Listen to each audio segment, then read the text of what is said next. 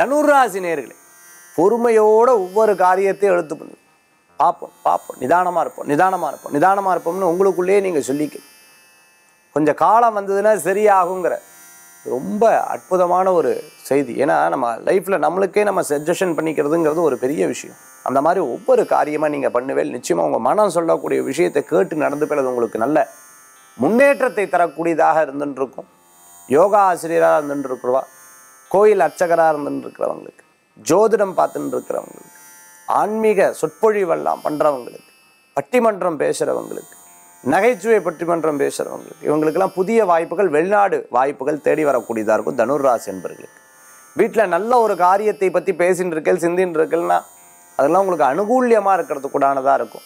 தனுர்ராசி என்பர்களுக்கு தாய் தந்தையார் மூலமான நல்ல செய்திகளும் அடுத்தது பூர்வீக சொத்து எதிர்பார்த்துன்னு இருக்கிற ஆளுக்கு நல்ல காரியங்களும் நடக்கும். அதிர்ஷ்டம் தரக்கூடிய அற்புதமான எண் ஐந்து நிறம் சிகப்பு வழிபாட்டுக்குண்டான தெய்வம். பழனியாண்டவர் வழிபாடு உன்னதமான பலன்களை தரும் அற்புத வழிபாடு தனுர் ராசி அன்பர்களே.